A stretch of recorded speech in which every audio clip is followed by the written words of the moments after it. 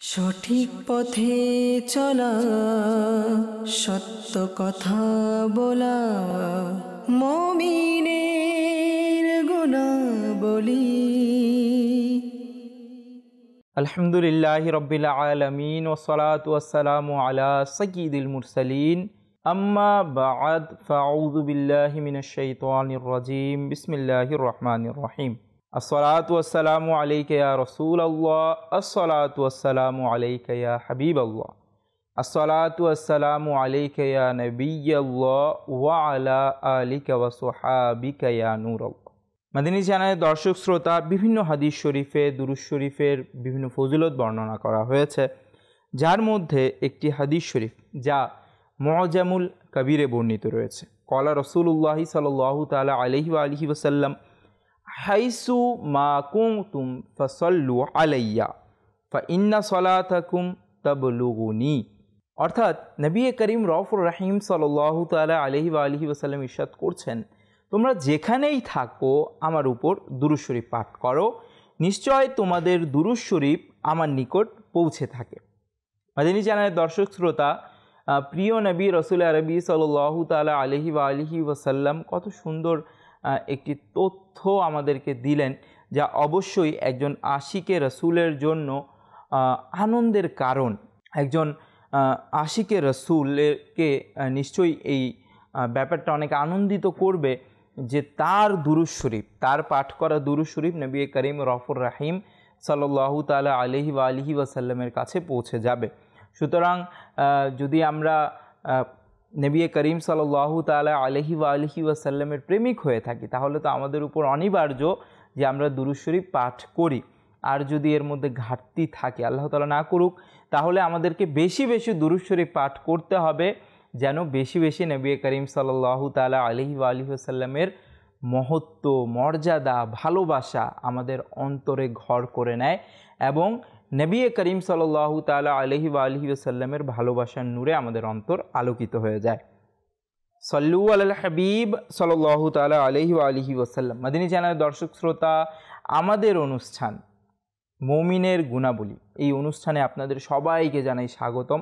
আলহামদুলিল্লাহ তালা আমাদের এই অনুষ্ঠানে প্রতিটি পর্বে এক এক এক একটি বিভিন্ন বৈশিষ্ট্য, গুণ নিয়ে আলোচনা করা হয়। যা একজন প্রকৃত মমিনের ভেতর থাকে। আমরা যদি এই গুণগুলো নিজেদের জীবনে ধারণ করি, নিজেদের বৈশিষ্ট্যের অন্তর্ভুক্ত করে নেই, তাহলে আমরা দুনিয়াতেও সফল হতে পারব এবং আখিরাতেও সফল হতে পারব। মদিনী চ্যানেলের দর্শক শ্রোতা, আজ যেই গুণের ব্যাপারে আমরা আলোচনা করব, তা হচ্ছে বড়দের সম্মান করা। মাদানী চ্যানেলের দর্শক শ্রোতা, এই প্রসঙ্গে দুটি হাদিস শরীফ আমরা প্রথমত শুনব। নবী করিম রফুর রাহিম সাল্লাহ তালা আলহি আলি সাল্লামের একটি হাদিস শরীফ, যা মজামুল কবিরে বর্ণিত রয়েছে। নবী করিম রফুর রাহিম সাল্লাহ তালা আলহি আলি সাল্লাম ইরশাদ করছেন, লাইসা মিন্না মাল্লাম ইয়ারহাম সগিরনা ওয়াইওয়াক্কির কবিরনা ওয়াইউরিফ লানা হাক্কানা। এর অর্থ হচ্ছে যে আমাদের ছোটর প্রতি দয়া করে না এবং আমাদের বড়দের সম্মান করে না এবং মুসলমানদের হক জানে না, সে আমাদের অন্তর্ভুক্ত নয়।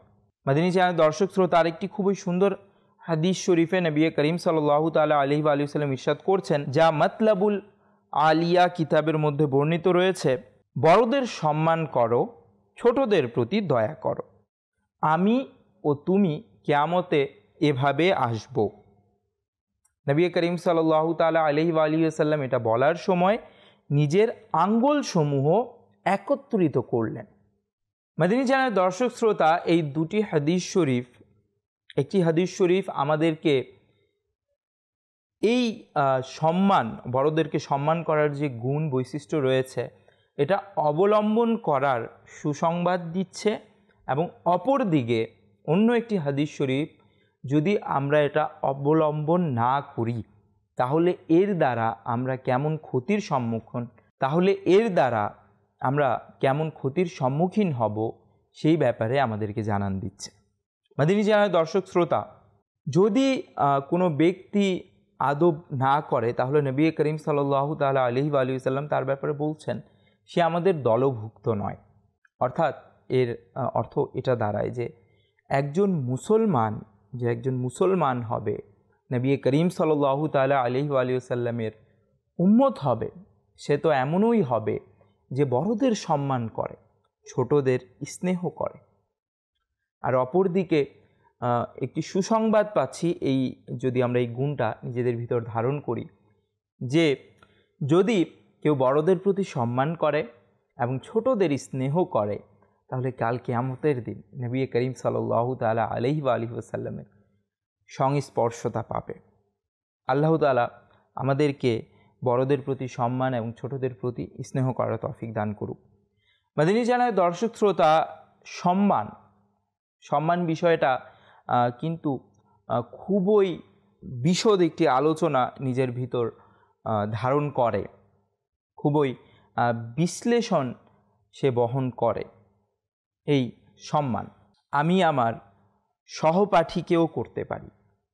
সম্মান আমরা সম্মান দিয়ে যেটা বুঝি যে বড়, যে আমার বড় হবে, তাকে সম্মান করা, তাকে সম্মান দেখানো হ্যাঁ বিভিন্ন জনের কাছে সম্মান নিয়ে বিভিন্ন মত রয়েছে। অর্থাৎ ব্যক্তিভেদে এক একজন ব্যক্তির, এক একজন ব্যক্তির এক একটা পরিবারের সম্মানের ক্ষেত্র আলাদা আলাদা। এক একটা দেশের এক একটা জাতির সম্মানের মাধ্যম ভিন্ন ভিন্ন। তো অবশ্যই আমরা সেই সম্মানের মাধ্যমগুলো বা ধরনগুলো নিজেদের ভেতর ধারণ করব, যেগুলো ইসলামের মধ্যে রয়েছে, ইসলাম আমাদেরকে শিখিয়েছে। এর সাথে সাথে যেই যেখানে বড়দের সম্মান করতে হয়, সেখানে কিন্তু আমার যারা সহকর্মী রয়েছে বা সহপাঠী রয়েছে তাদেরও কিন্তু আমাদেরকে সম্মান করতে হবে। অবশ্যই বড়দের সম্মানের ধরন আলাদা হয় এবং ছোটদের বা আমাদের আমার সাথের যিনি কাজ করে, আমার সহকর্মী তাদের সম্মান আলাদা হয়।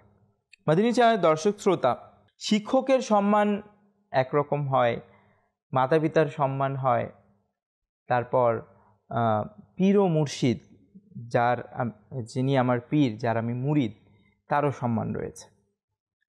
এইভাবে বড় ভাইয়ের সম্মান রয়েছে। এইভাবে করে নিজের আত্মীয় স্বজনদের মধ্যে যারা আমার থেকে বড়, আমার চাচা, মামা, দাদা, দাদি, নানা, নানি, তাদেরও সম্মান রয়েছে। তো এইভাবে করে বিভিন্ন সম্মানের স্থান রয়েছে। প্রথমত আমাদেরকে এটা চিন্তা করা দরকার যে, আমি এই সম্মানের এক একটা ক্ষেত্রকে কীভাবে দেখছি এবং সেগুলো আদায় করতে পারছি কি না আমি যখন আমার বড় ভাইয়ের সাথে একটু ফ্রি হয়ে যাই, তখন মনে করি যে, না, তার বুঝি আমার সম্মান করার প্রয়োজন নেই। আমার আব্বু, আম্মু যদি আমাকে একটু ফ্রি স্পেস দিয়ে দেয় তাদের কাছে আসার সুযোগ হয়, তখন আমি মনে হয় এমন মনে করি যে, তাদের সম্মান করার প্রয়োজন নেই। কিংবা বাবা একটু বেশি স্নেহ দিলে মা যদি কিছুটা কঠোরতা অবলম্বন করে।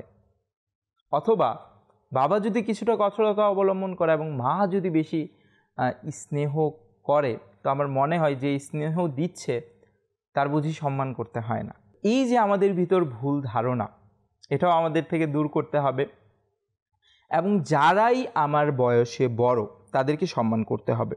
এই ব্যাপারে একটি হাদিস শরীফ রয়েছে। তিরমিজি শরীফের মধ্যে রয়েছে হাজর সাইদুন আনাস বিন মালিক রদি আল্লাহ তালা আনহু ইরশাদ করেন। নবী করিম রফুর রাহিম সাল্লাহ তালা আলহি আলি সাল্লাম ইরশাদ করেছেন, যে যুবক কোনো বৃদ্ধকে তার বয়সের কারণে সম্মান করবে, আল্লাহ তালা তার প্রতিদানে অন্য কারও মাধ্যমে তাকে সম্মানিত করবে। তো এখানেও সেই নবী করিম সাল্লাহ তালা আলহি আলি সাল্লাম ইরশাদ করছেন যে যদি আমরা কারও সম্মান করি তো আমরা সম্মান পাব। আর এটাই আসলে হয় যে যখন আমরা কারও সম্মান করি, তখন আমরা সম্মান পাই। যেমন এটার সহজ উদাহরণ আমরা এভাবেই ধরে নেই। এটা তো একটা ফজিলত যা আল্লাহ তালার দয়ায় আমরা পাবো। স্বাভাবিকভাবে আমাদের সাথে যেটা ঘটে থাকে, সেটা হচ্ছে যে আমার কেউ বড় ভাই, আমি যদি তার সম্মান করি, তো আমার ছোট ভাই কিংবা যে বোন আছে, সেও কিন্তু আমার সম্মান করা শিখে, আর সে আমার পরবর্তীতে সম্মান করে। ঠিক অনুরূপ যদি আমি যদি আজ অভিভাবক হই, বাবা কিংবা মা হই, আমি যদি আমার শ্বশুর, শাশুড়ি, মা বাবার সম্মান করি, তাহলে দেখা যায় আমার যে বাচ্চা রয়েছে, আমার যে সন্তান রয়েছে, সেও সম্মান করা শিখে। আর সেও পরবর্তীতে আমি বৃদ্ধ হলে, সে যুবক হলে আমার সম্মান করে, কারণ সে শিখেছে। আর অন্যদিকে, আল্লাহ তালা না করুক, যদি আমার মা বাবা শ্বশুর, শাশুড়ির সাথে আমি যদি খারাপ আচরণ করি, তাদের সম্মান রক্ষা না করি, তাদের সাথে বেয়াদবি করি, তাহলে দেখা যায় যে আমার সন্তানরা তারাই সেগুলো শিখে। এবং যেভাবে যেভাবে আমি করেছিলাম, বৃদ্ধ হওয়ার পর তাদের মাধ্যমে সেগুলো আমি পুনরাবৃত্তি দেখি। সেগুলো রিপিট হয়। আর এটাই এই সমাজের নিয়ম। যে যা দিব তা পাব। প্রিয় ইসলামী ভাইরা, মাদিনী চ্যানেলের দর্শক শ্রোতা, এমন হয়, স্বাভাবিক ক্ষেত্রে বিভিন্ন বই প্যারেন্টিং সম্পর্কে যেগুলো বই রয়েছে, সেগুলোর মধ্যে এটা বলা হয়েছে যে আমরা যদি শিশুদেরকে কিছু শিখাতে চাই, তাহলে শেখানোর সর্বোত্তম মাধ্যম হচ্ছে প্র্যাকটিক্যাল করা। আমি যদি চাই, আমার ছেলেটা যখন বড় হবে আমার সন্তানটা যখন বড় হবে, সে যেন মোবাইলের নেশায় মত্ত না হয়, মোবাইল আসক্ত না হয়, তাহলে আমাকে কিন্তু তার সামনে বারবার মোবাইল চালানো যাবে না। যদিও আমি কাজে মোবাইল চালাই, চেষ্টা করতে হবে তার যেন এই বিষয়টা তার দৃষ্টিগোচর না হয়। তার দৃষ্টির আড়ালে যেন আমি আমার কাজ হলেও আমি যেন মোবাইল ব্যবহার করি। কারণ আজ আমি কাজে মোবাইল ব্যবহার করছি, কাল সে দেখে দেখে প্র্যাকটিক্যালি বিষয়টা শিখবে। আর সে বিনা কাজেও মোবাইল ব্যবহার করবে। মোবাইলের জন্য সে বায়না ধরবে। মাঝে মাঝে হয় যে আমরা বাচ্চাকে চুপ করানোর জন্য বা তার যন্ত্রণা থেকে বাঁচার জন্য আমরা তাকে মোবাইল দিয়ে দিই। এটা কিন্তু ভবিষ্যৎ নষ্ট করা। এটা গুড প্যারেন্টিং যেটাকে বলা হয়, এটার আওতায় পড়ে না। সুতরাং আমাদেরকে এই বিষয়গুলো খেয়াল রাখতে হবে। আর আমাদের যেই টপিক ছিল, বড়দের সম্মান করা। তো নবী করিম রফুর রাহিম সাল্লাহ তালা আলী আলী সাল্লাম ইরশাদ করেছেন যে যদি আজ একজন যুবক কোনো বড় ব্যক্তির তার বয়সের কারণে, কোনো বৃদ্ধ ব্যক্তি তার বয়সের কারণে সম্মান করে, তাহলে সেও, সেই যুবকও সম্মান পাবে। মাদিনী চ্যানেলের দর্শক শ্রোতা, সম্মানের ব্যাপারে কত সুন্দর লেখা হয়েছে, একটি আরবি কবিতা। একজন আরবি কবি বলেছেন মা ওয়াসালা, মান ওয়াসালা, ইল্লা বিল হরমাতি ওয়ামা সাকতা, মান সাকতা, ইল্লা বিতর্কিল হরমাতি। যে যাই পেয়েছে, যে যাই পেয়েছে, সম্মানের কারণে পেয়েছে, আদবের কারণে পেয়েছে, এবং যে যাই হারিয়েছে, বেয়াদবির কারণে হারিয়েছে, সম্মান প্রদর্শন না করার কারণে হারিয়েছে। জিমাদিনী চ্যানেল দর্শক, শ্রোতা সমাজে ঘটে। এখন আমি শিক্ষকের দিকে আসব। আমরা যদি শিক্ষকের আদব না করি, তাহলে দেখা যায় আমার স্টুডেন্ট যারা হয়, আমার শিক্ষার্থী যারা হয়, তারাও আমার আদব করে না। যেভাবে আমি শিক্ষকের ব্যাপারে বিভিন্ন সমালোচনা করতাম, আমার শিক্ষার্থীরা, আমার স্টুডেন্টরাও তারাও আমার ব্যাপারে সমালোচনা করে। আমি যেভাবে যেমন অ্যাটিটিউড আমার আমার টিচারের সামনে ছিল, আমার ছাত্রদেরও অ্যাটিটিউড আমার সামনে তেমনই হয়। সুতরাং আরজ করব যে এখনোই সময় আমি যদি ছাত্র হই তাহলে শিক্ষকের সম্মান করা শুরু করে দেই। তার যদি বেয়াদবি করে থাকি তার থেকে ক্ষমা চেয়ে নেই।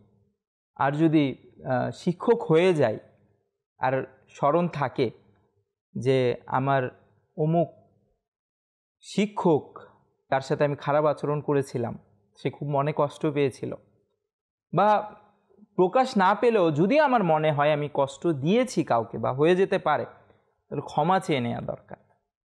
ক্ষমা চাইতে কি সমস্যা? ক্ষমা চেয়ে নিব, সে যদি মাফ করে দেয়, আল্লাহ তালা চাইলে দনুজাহানে আমার সম্মান বৃদ্ধি পাবে।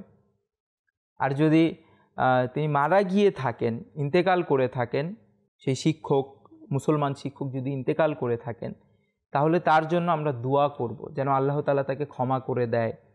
আমরা তার জন্য ইসালে সোয়াব করব। এর দ্বারা কি হবে? তিনি খুশি হবেন। এবং এর মাধ্যমেও আল্লাহ তালা চাইলে আমি দুনিয়া আখিরাতে মর্যাদা পাব। মাদিনী চ্যানেলের দর্শক শ্রোতা, একবার একজন গুণাগার ব্যক্তি নদীর পাড়ে হাত মুখ ধৌত করছিল।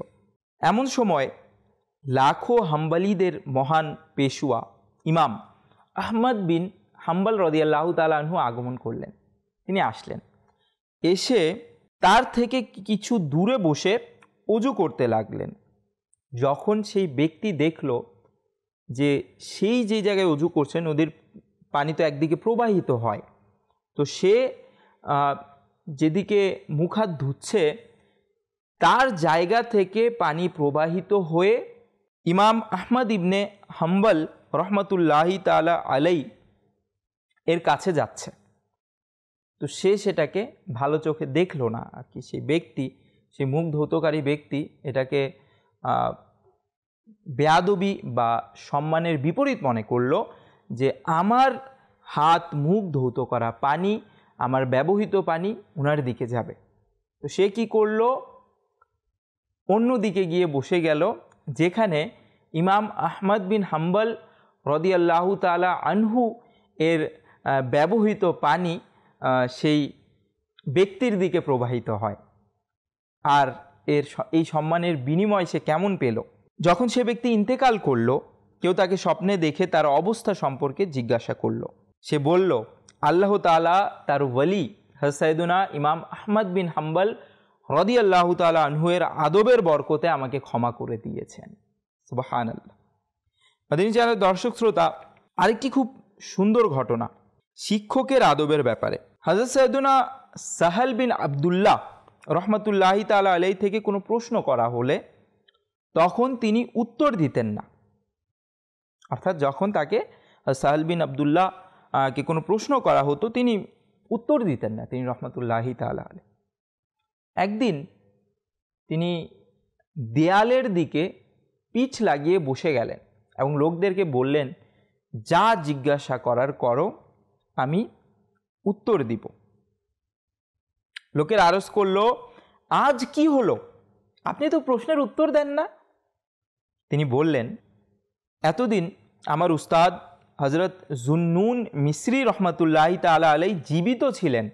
তার আদবের কারণেই উত্তর প্রদান করাকে এড়িয়ে যেতাম। লোকেরা এরূপ উত্তর শুনে আরও আশ্চর্য হলো।